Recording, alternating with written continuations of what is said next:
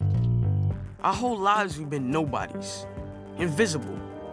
The good kids. Well, not anymore. A couple of seconds ago, our phones went crazy. Whoa! It buffed! Did you see that?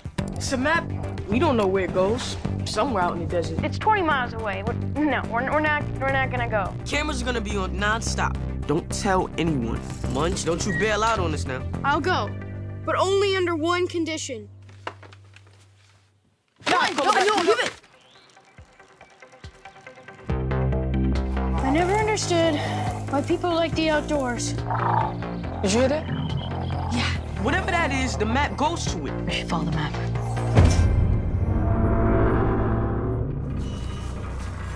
What was that? I don't know. There, there's something in there. Whoa, whoa, whoa, hold on. What is that? Did you see that just now? Are those eyes? Watch this. Just beep. Echo. What? That's what we should call it. This is amazing.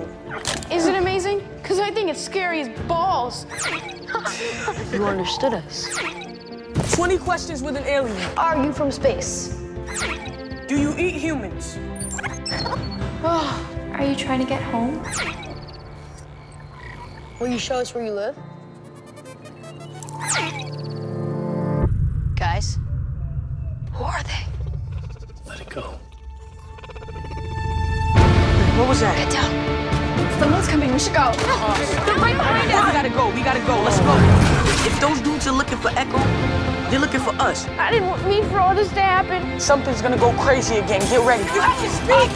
You're thinking Echo, we need your help.